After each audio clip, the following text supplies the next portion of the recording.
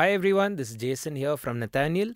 In this lesson, I want to talk about syncopation and how you can first of all create a syncopated rhythm. Uh, the definition is of no great significance for me. It's more how you can use it on the piano in the most organic way possible.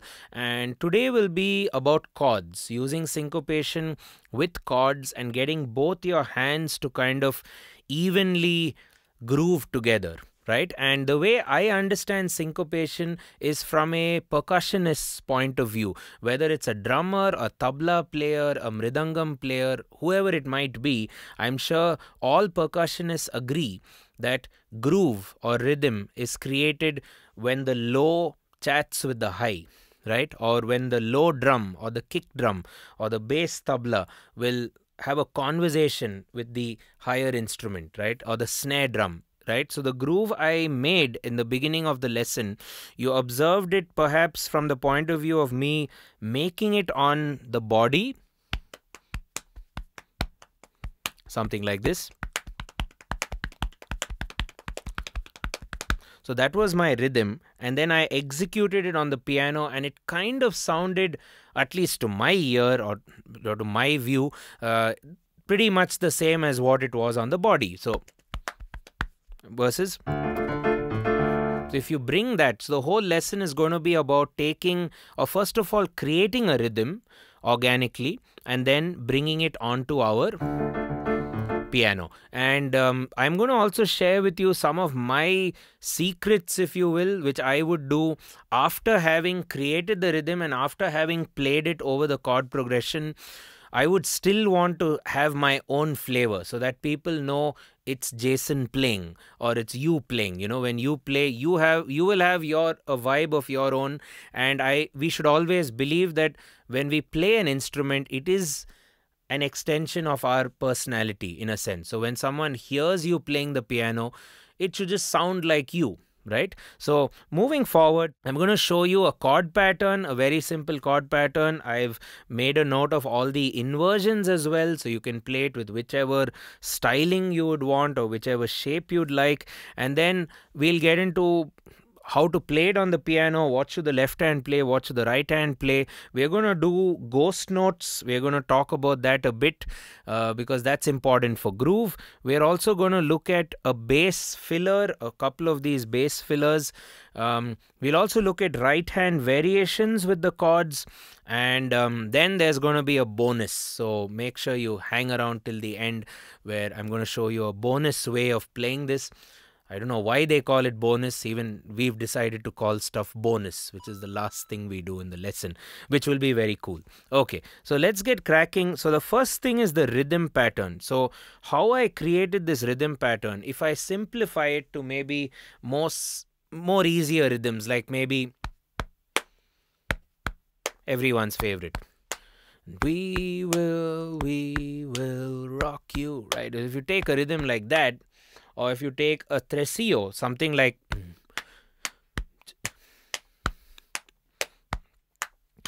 it's you you've created it, but you've created it with pitch, with a pitch difference between the low and the high. So for me, the low I'm playing here I generally prefer to play it on the chest. It gives me a nice deep sound. It also gets me to feel the pulse some in some way or maybe it's just me. And maybe you can hit something else. Uh, yeah if you have a problem uh, or a medical issue please don't hit your chest. Just i'm just doing it. But it's also easy for me to explain it in a video like this. Um, you could also consider you know using a bongo a bongo like this would be helpful. Um, this will give you the low pitch and that would give you the high pitch. So bongos are equally useful and it's a great simulation for the piano. Right, so we've looked at We Will Rock You and the Tresillo, very common rhythms. We Will Rock You was kick, snare, kick, kick, snare, kick, kick, snare, right? While the Tresillo was dum, pa dum pa pa dum pa that's left right right so it's pretty much your hands so you tell yourself what should my hand pattern be so if you have this sort of a rhythm um,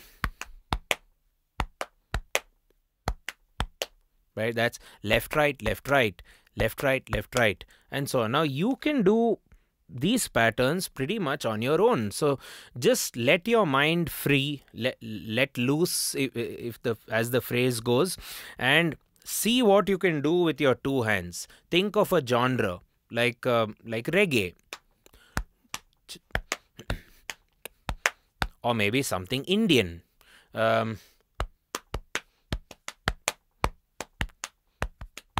right and just see how your hands interact with each other right so create your own grooves however for this lesson i've prepared one for you which i like which i use very often so let me do it on the body and explain it i'll play it first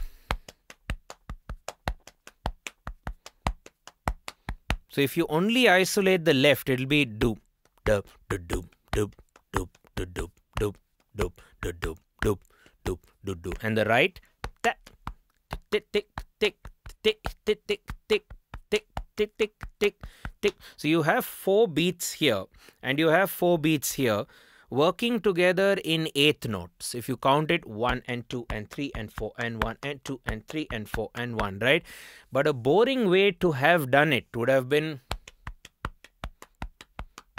well it's not boring it's just common. People have heard it before.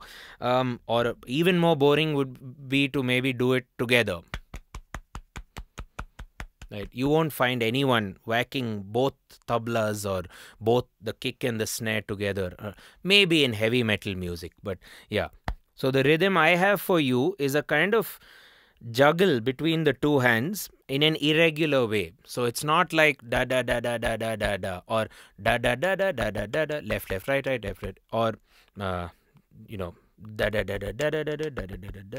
It's basically a syncopation. It's the two hands having an equal say in the conversation. So you go da da da da da da da da, and da is my kick, da higher pitch is my snare.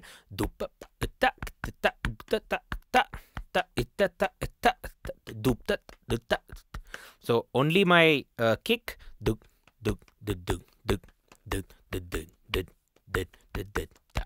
right? The, the snare,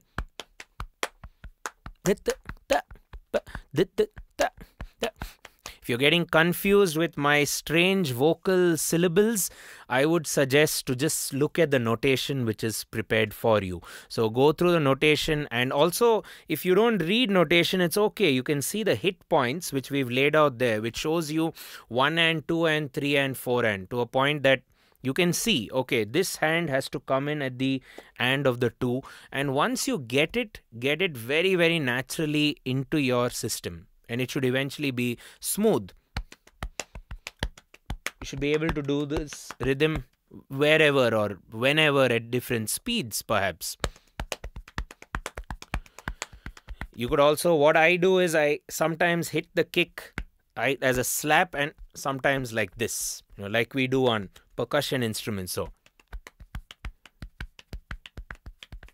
you get that sort of a so you get different textures which you anyways will get on the piano right? We have not come to the piano yet so.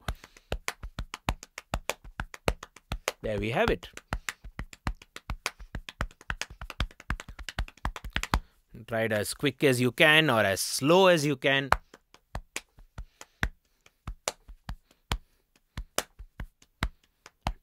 Same boom pa ba boom boom pa ba boom ba boom boom bass. Ba ba uh, uh, da, da, da. Right. Snare. And I'm kind of deliberately doing the bass with my left hand on a bassier sounding part of the body, like my chest, while I'm doing the treble deliberately in my right hand on a more treble part of the body, which is my leg, right? So that kind of gives you a very good simulation of what's to come on the piano because the right hand hits are going to be what you did on your leg, while the left hand simulation would be what you did here. So, so becomes pretty much the same correlation, right? So now let's bring in those chords. You cannot play the piano without those fancy chords. So D minor, first chord, G minor, second chord, come back to D minor. I've kept it very easy for you guys. So D minor, G minor, come back to D minor, and then end with A major. I'm using these inversions ADF, B flat DG, ADF, A C sharp E, or DFA, DGB flat, DFA, C sharp E A, or FAD, GB flat D, FAD, E A C sharp, depending on which flavor, which style you like of each chord.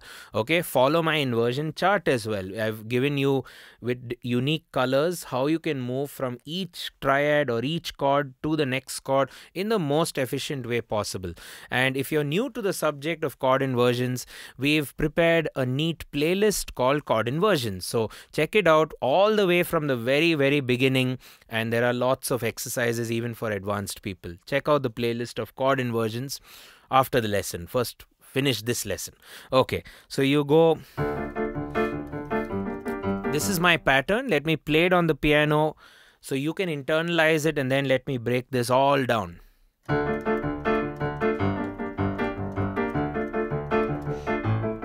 As you can see, the same pattern is getting moved for each chord. D minor, G minor, D minor, A, D minor, G minor, D minor, A major.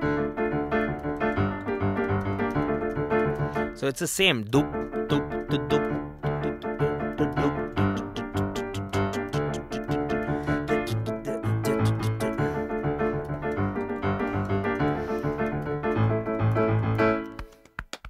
Pretty much the same pattern. Uh, the same pattern actually. So in your left hand right now i would advise you to start off the process by playing single octaves. That would be d and the thumb on the octave whacked together and the right hand playing the chord in whichever inversion you prefer. I'm going with adf so okay one i'll only do d minor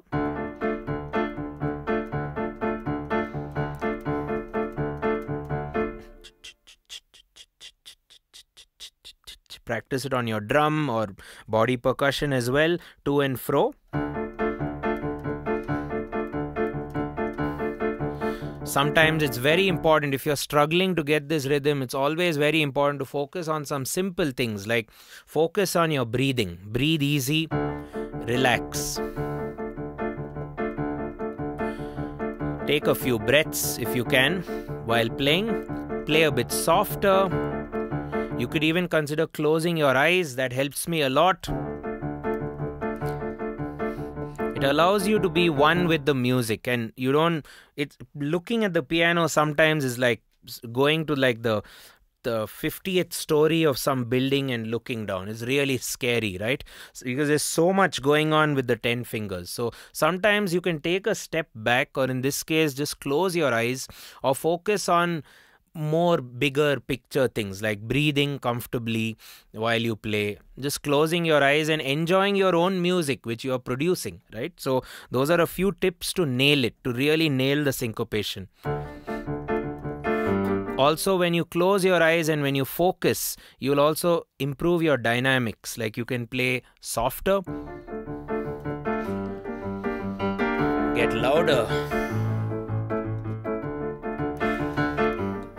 Or mm-hmm. maybe make some chord hits longer, legato, and some staccato.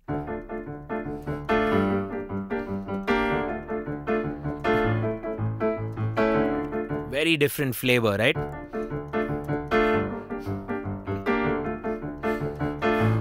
There we go.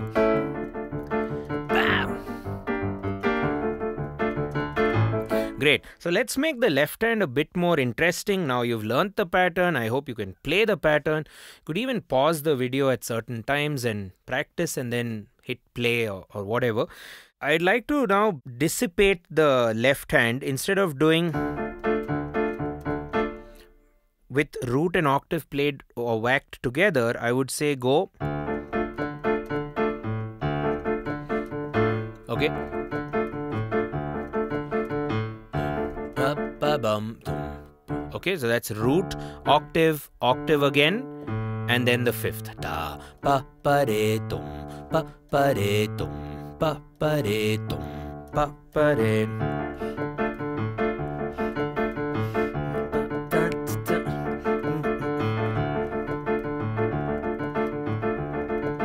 Okay, slower. Ba ba bum. So root, octave, octave, back to fifth. These are also what we call ghost notes, which are a bit more softer and or a bit more staccato. And make the music a lot more interesting because otherwise it was both root and octave together. Sometimes very forceful in the bass register. So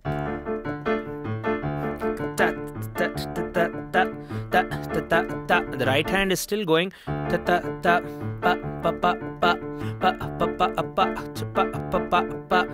with the chords D minor, G minor, and I've made it easy. Come back to D minor, minor, G minor, D minor, A major, pa pa re, pa pa re, pa pa re, pa pa re.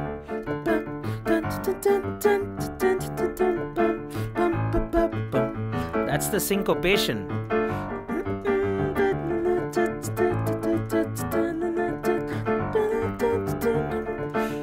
Once you get it, develop some confidence.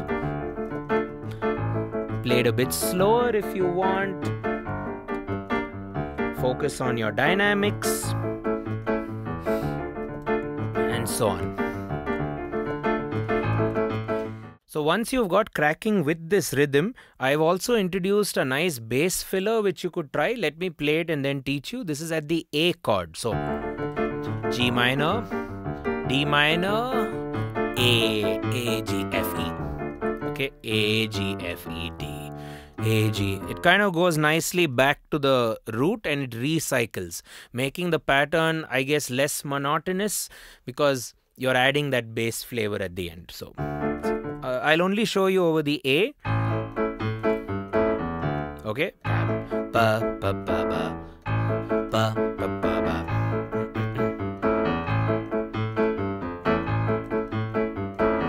It's designed to come back to the D. So.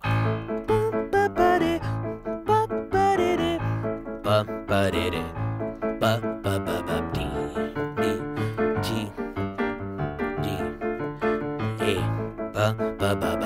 Okay, this has all been notated for you, so do check out the notation if you read notation. Otherwise, you can just follow along.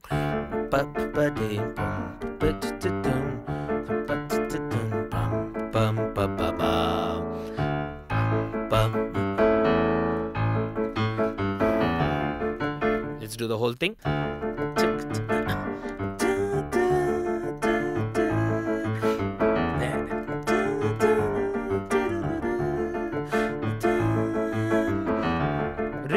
Recycle, put some dynamics. but it all came from just came from that simple groove which you could have come up with on at your balcony or wherever you would wherever you felt the inspiration from you know. So let's do something in the right hand as well which i do quite often. So i've looked at a bass fill. Now the right hand could go. Check that out nothing great in the right hand the same hit points but with inversions. So root first root, root next. It's not going to be root of the next chord rather. Just figure it out based on the very next inversion. So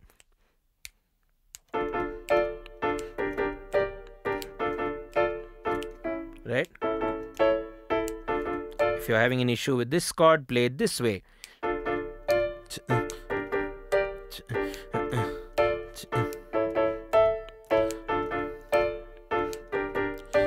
Or you can ignore it for the A because you're doing the bass filler at the A. That may be a bit tricky. So with the right hand inversion options So that's without inversions. Now,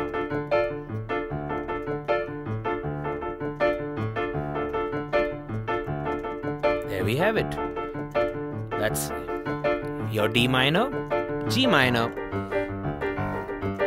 D minor. Right, so we've looked at pitch variations in the left hand, we've looked at pitch variations in the right hand, inversions there, ghost notes here, then we've looked at a nice that nice bass filler you have there. Now what I'd like to do is sh- showcase a few approaches which I do very often to a rhythm I have created. I'll try and think of the rhythm in two different ways, you know, and these ways are going to be very, very helpful. And I would encourage you once you've made a rhythm, once you've played it on the keyboard, try to think of the rhythm in these two perspectives, which we are calling as our bonus tips, right? Very, very important. I do this all the time. The first thing is, are you playing this rhythm staccato? The answer is a yes, isn't it? So think of the opposite of staccato. What is the opposite of staccato? Legato. So a great way to develop legato would be to hold down your pedal and play the same same music.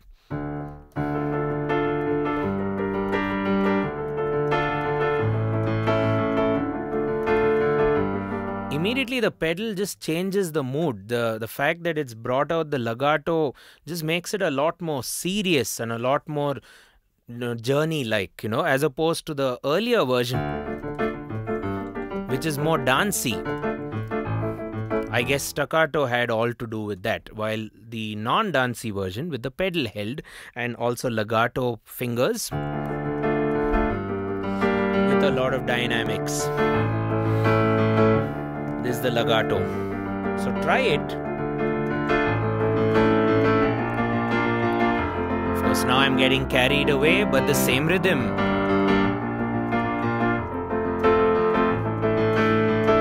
Now staccato. And play around with both. It's the exact same rhythm. Legato.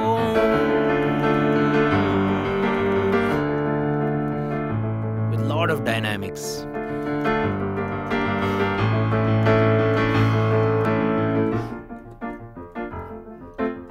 staccato. There we have it.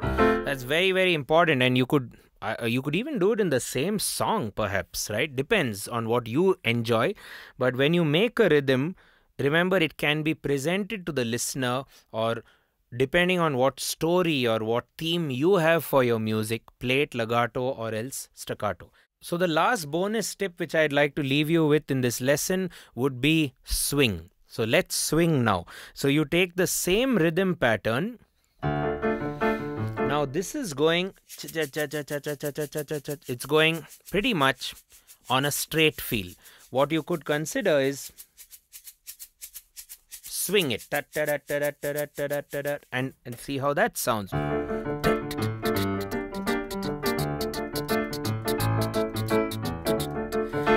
completely change the vibe of the whole music, right? So straight.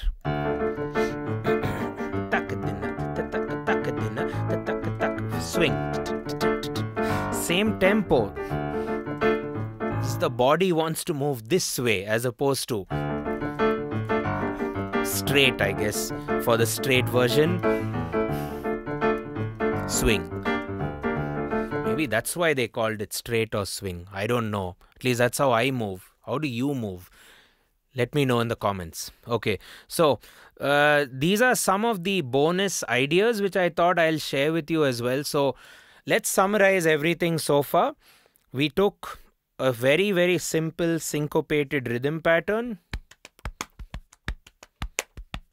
with our hands on the body, or you can do it on a bongo or something. Then we looked at analyzing that over a chord progression. The chord progression is D minor, G minor, D minor, A major. Then we played the pattern in a vanilla style, just left and right hand. Then we looked at ghost notes in the left. we looked at inversion movements in the right, or before that we did the bass filler in the left.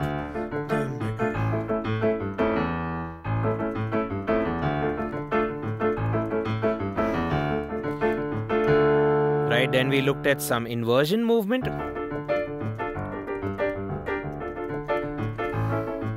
Right, in, in the right hand.